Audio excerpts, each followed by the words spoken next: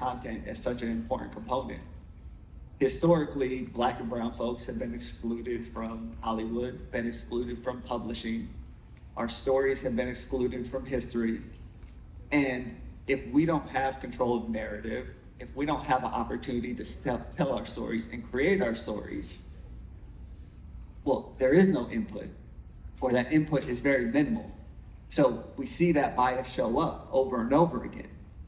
And the opportunity we actually have now is students and our communities now have the opportunity to be the creators of our stories, of our narratives, which also in turns in turn means we are controlling the inputs in these data sets.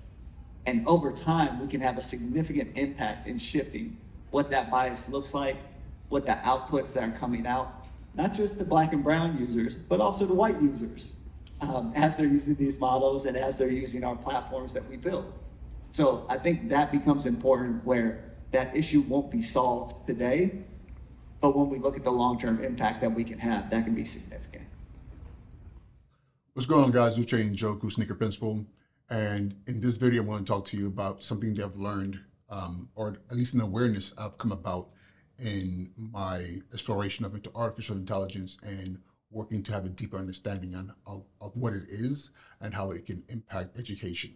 So um, in the past two months, I've attended two, actually not, not two months, past month actually, a couple of weeks, I've attended two events. One was the New York City Advisory Council on AI. So I guess it was the AI Advisory Council that had a, um, a showcase and panels talking about artificial intelligence and its impact on schools, our community, and what the future looks like with artificial intelligence, especially in education.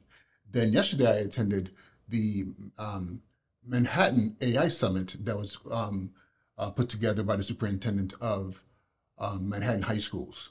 And both events were pretty interesting. And there was a lot of learning to happen in those two spaces. And I want to share my thoughts on what I learned, but also shared some insights that I came about from those experiences. So the first one would be the AI Advisory Council. Um, during that meeting, there were panels in there, and it was kind of an open conversation. There were superintendents in the room, principals in the, in the room. There were people that were pretty much categorized as AI forward and AI curious um, leaders. And I think I'm one of those AI forward. I've embraced it from, from jump from the jump. Um, the first time I saw Terminator and um, 2001 Space Odyssey and Star Trek, I've been waiting for the world in which I can engage with technology the way we're able to do it right now, even though it's rudimentary, but still, we're in a space where we're able to engage technology in ways that we didn't imagine possible um, beyond you know, the fantasies of television and movies. But um, so I digress. So in this space, this is what I what I saw. I saw a lot of people who were really in, trying to get um, beyond their understandings, their their fears, and those who were willing to say, "Hey, I've embraced this. This is what I do." And it was it was quite it was quite interesting because at one point in time, you could feel the energy in the room being kind of like Bloods and Crips. It was like those who were like, mm, we're not ready for this, and those who were like, oh no, come on, we gotta jump on this because if we don't get jump on this, we're gonna be left behind, like we've been left behind several times. And what we mean by we, those of us, especially because a lot of us leaders are are leading schools that are in the inner cities, in the in, in the urban communities that services minority um, children and um, minority communities, and you we know what happens in those spaces typically when technology comes, it moves forward and we're held back. And often the reasons that we're being told that things are being held back has to do with, you know, safety and ethical concerns and and how do we protect and all these different things. And as these things are happening, these conversations are being are happening in other communities, they're moving forward much faster. And by the time we realize what's happened, we are so far behind and we're playing catch up and we've been playing catch up for for decades. And, um, and it's interesting because when you think about when people when people talk about the achievement gap, the achievement gap is also majorly a technology gap as well. And it's usually who you know when people say first to market, it's also first to use. Who uses it first? Who's understanding it? Who's actually applying it first? Those spaces, those communities tend to to excel. So doing the the um, the AI uh, advisory council meeting uh, or presentation, I mean, there were people out there who were who were talking about like you know we can't move forward with this. It's not safe. We have to make sure that we come together, understand, establish policies and things like that to make sure that we we're protecting and we're we're we are engaging in ensuring that that the parameters and the rules of engagement and ethical issues are being observed and making sure that the technology itself is not spewing biased content and things of that nature. And how do we make sure that the information that's being given is, is, is, is true and not false? And I remember sitting there thinking to myself, not, not as an educator, as a student, one of the classes, I one of the, not classes, the span of learning that I, that I went through in school was research, was, you know, looking at primary and secondary sources. And back then, we were just talking about a library. We weren't, we weren't even talking about internet.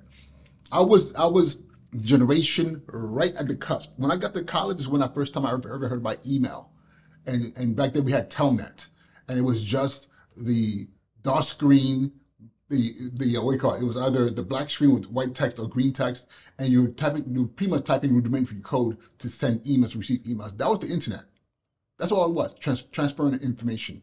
So when we talked about like in 1993, you know, when I first got to college, and we were, still talking about books. When you find this article in the stacks and you open it, you read it, how do you confirm that this information is correct?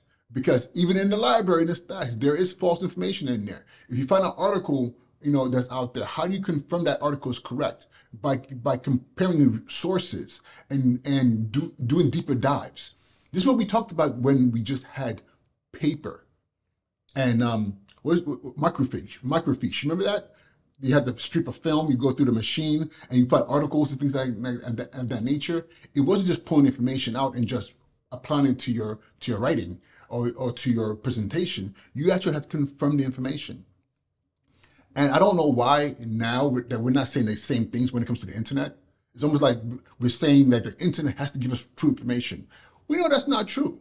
We know that we still have to do our due diligence as researchers, as thinkers, as critical thinkers. Like we still have to do that, but we're not teaching that. We're just saying, oh, be careful, AIs to give wrong information. But it's still your responsibility to take that information and confirm it, right? But again, that was a lot of things I was hearing. Oh, the biases in there. Um, I'm sorry, biases have been in literature forever. Some of the greatest scholars that we still quote to this day is Freud and, and Freud and Jung and all these other people, historians and psychologists. A lot of them had extreme biases against minorities and people of color. Let me say, not, let me not say minorities, but people of color or people that was outside of their culture, you know. Um, but we still hold them in esteem and we still say, well, during those times, these were the biases that they held, but it doesn't change the fact that at the core of the work they were doing, there was extreme truths in there and and, and extreme um, movement made for humanity through their work. But we still have to use our critical thinking to assess that data and that information. So when people talk about AI, what is spewing out there, and that was a lot of it, you know, and I was like, okay, this is interesting. And at the end of the day, though, somebody on stage was saying we have to use it. We have to use it. We have to engage in it. And people saying AI, AI, AI, AI. And it's interesting because at the tail end of this conversation, I'm going to tell you why maybe using the word AI by itself is the wrong thing. So now let's fast forward to yesterday.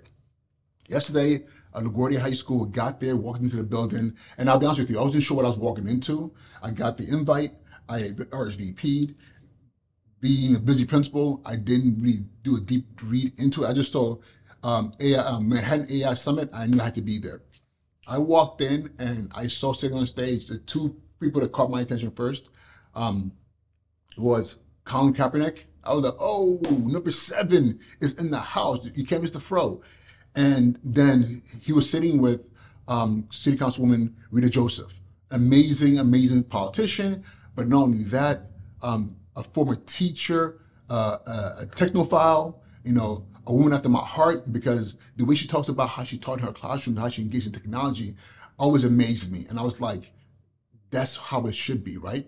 So they were there, and there was other panelists. They were talking about AI, artificial intelligence, and and again, it was coming from a space of that was a little bit different from what I saw at the AI um, Advisory Council um, conference. This was more about, hey, how are we using it? Why do we need to use it? What do we need to do to not not be left behind? How do we get past our fears and our biases and all these concerns that we have, understanding this thing is here? One of the things that I heard was this, and I've mentioned this before. When we tell our children about future jobs, you know, and careers, do we even know what we're talking about? When we say STEM jobs and STEM careers and STEM, STEM, STEM, do we even know what those things are? Oh, they should be coders. What happened when the code starts coding itself? Would there be room for an army of coders? Or do you just need two or three or four or five or a hundred billion coders on the planet who now manage the, the, the artificial intelligence that is now doing the abundance of coding based on the directions and, and, and the prompts being given to it by these master minds, these master coders, these human beings who are the ones manipulating the, the, the, the system. You know, what does it mean to be a surgeon in 30 years? Somebody said for kindergartners, and it hit me because right now, I believe the kindergartners right now are graduating in 2035. If I'm right, I might be wrong about that, but 2035. Let me hold. Let me think about kindergartners right now. 13 years, um, 12, uh, 36. 2036, our kindergartners are going to be walking the stage. What is the world going to look like in 2036? I couldn't have imagined 2024 13 years ago. We have electric cars, and now we're talking about AI robot. Uh, we call it um, um, Tesla talking about robots, and and we're we're in this space now. where We're Web 2, 2.0. We're moving to Web 2.3. I'm sorry, we're in 2.3. Crypto. All these things that might seem not a big deal right now. If you try to explain it to me 13 years ago, I'd looked at you and been like, "What are you talking about? What are you talking about?" you know, this is like some sci-fi stuff. I would have been excited, but I, but my brain wouldn't have been able to wrap myself around a decentralized currency that's digital, that that that has a limit, that keeps increasing in value and has cyclical three, three four year cycles, you know, that can disrupt banking the banking system.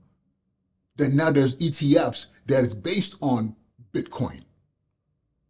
I'd have been like, what the, what? But these are reality. So imagine what it looks like in 2036. I have two, I have two kindergartners right now. And I'm trying to, in my head, trying to say, to ask myself, what am I telling my kids to be when they grow up or to, to even imagine? I don't even know.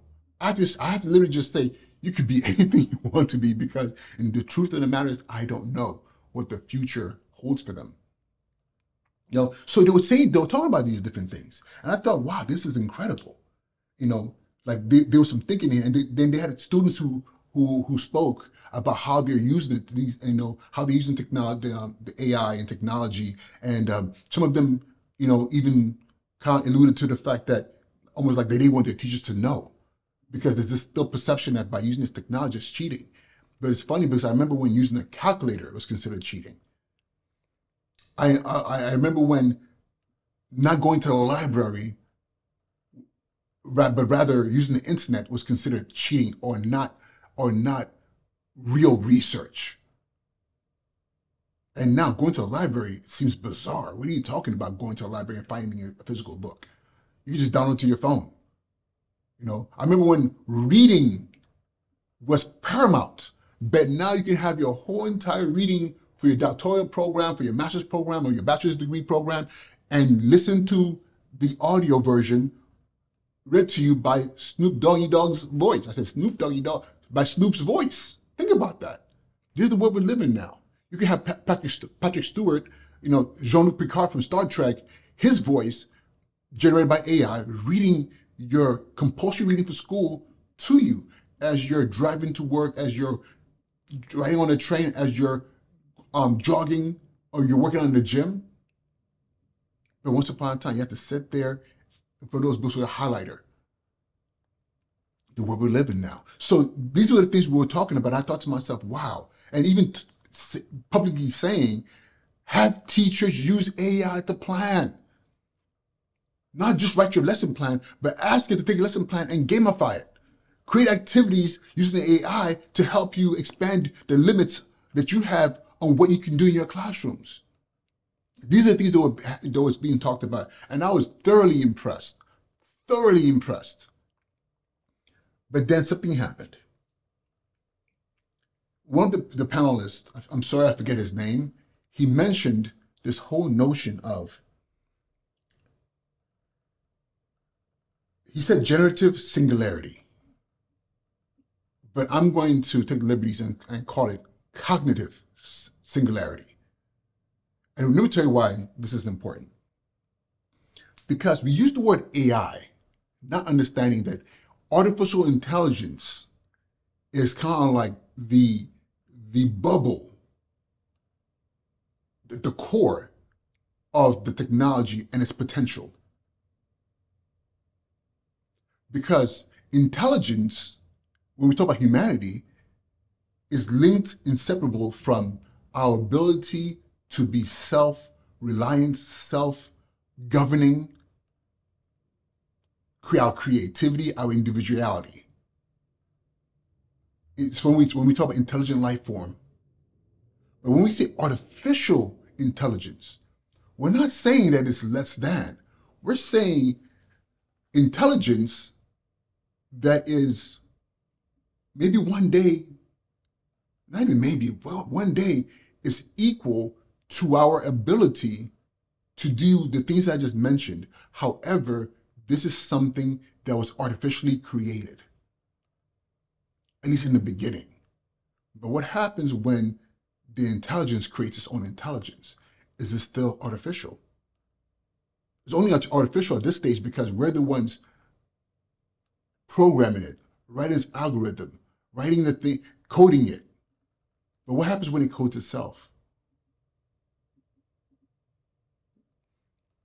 But when this was mentioned, I was like, and, and this was mentioned in, in the sense of like, we're not even thinking about that next level which is already probably here. We don't know. There are things that are being created all the time that we're that by the time it comes to market is being worked on for the past 50 years. So we don't even know what the possibilities of what's out there right now, right?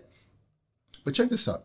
So when we're talking about education in schools and the technology that we're in, that we're clamoring over, when we talk about ChatGPT, Perplexity, and all these different um, programs and APIs and everything that, that connects this thing that's under the umbrella of artificial intelligence.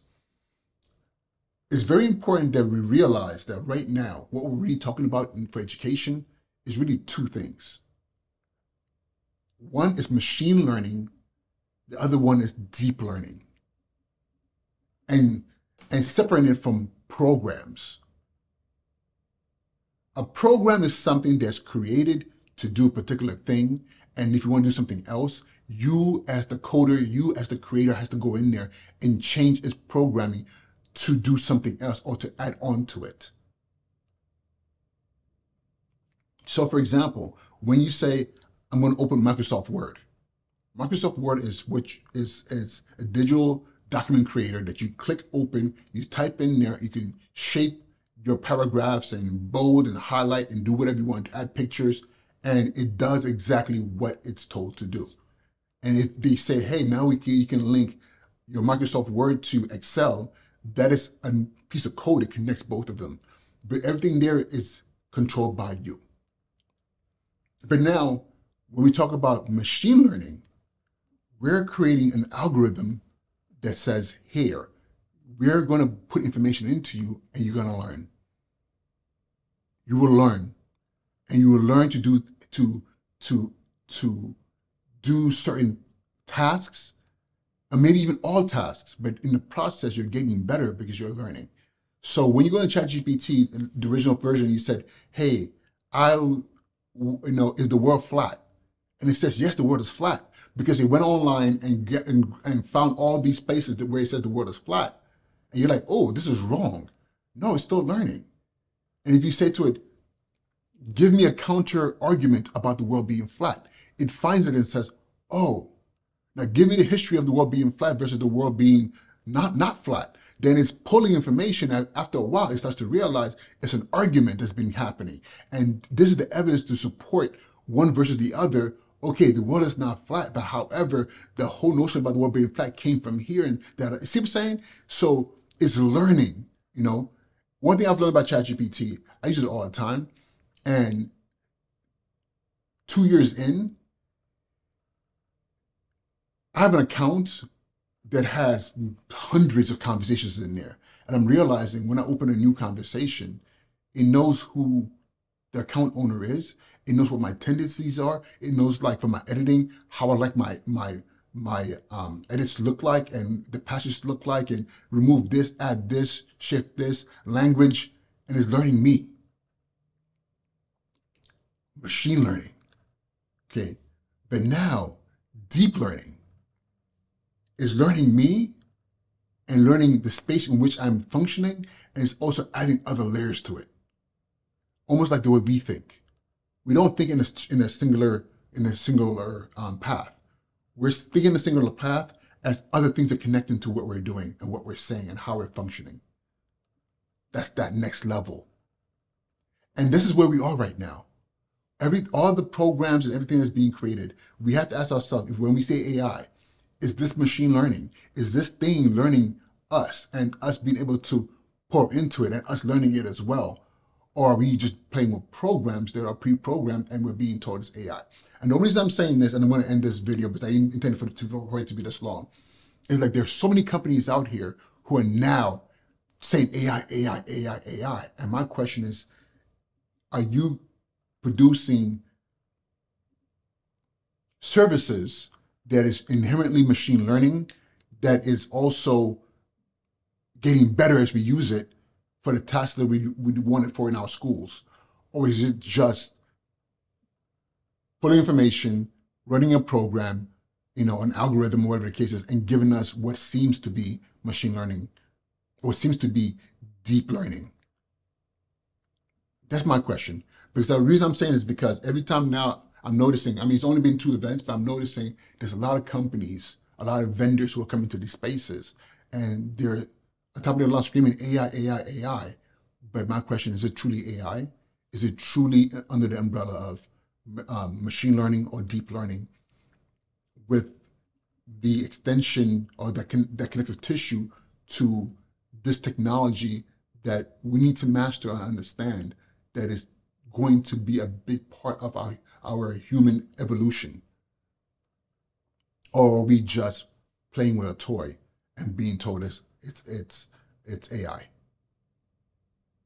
So I'm gonna stop right here. So the things I want you to take walk, walk away with from this conversation is number one, understanding that AI is just, a, you know, from my understanding, it's just kind of a, a, an umbrella under which there are layers, machine learning, deep learning, then that cognitive singularity, when eventually, when, if not already, when the AI itself is able to independently function and improve upon itself without our involvement in that process. What is that going to look like?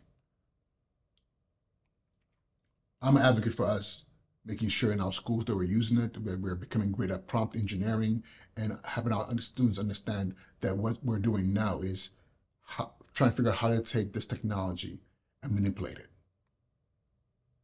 for the betterment of humanity.